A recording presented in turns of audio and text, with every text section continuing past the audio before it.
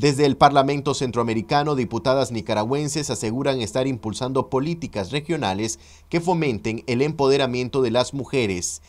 Venimos haciendo, presentando algunas iniciativas sobre la equitatividad de la mujer, ¿verdad? Las mujeres líderes en el empoderamiento ante, ante el COVID. Otra de las iniciativas que hemos presentado son garantizar la igualdad en la medida de prevención de salud y acceso equitativo ante el COVID. Hay que empoderar a las mujeres para trabajo.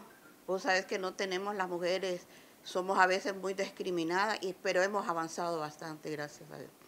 ¿Y esto va a ser una misión, un objetivo como región centroamericana? Como región centroamericana y del bloque de mujeres de partidos políticos. ¿Qué tanta representatividad tiene la mujer en el Parlacén? Tiene bastante, bastante, bastante. Somos, no te podría decir porque no tengo ahorita la cantidad de mujeres, pero sí el bloque de mujeres, ahí estamos toditas las mujeres diputadas del Parlamento. ¿Es un trabajo arduo? Sí, bastante. No sé por qué dicen que en el Parlamento no, en el Parlacén no se trabaja, pero sí hay bastante trabajo por hacer.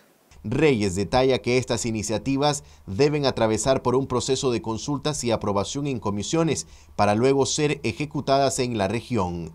Nosotros como diputados, mira, los diputados estamos divididos ahí en comisiones, como sabrás también en toda asamblea, ¿verdad? En todo parlamento.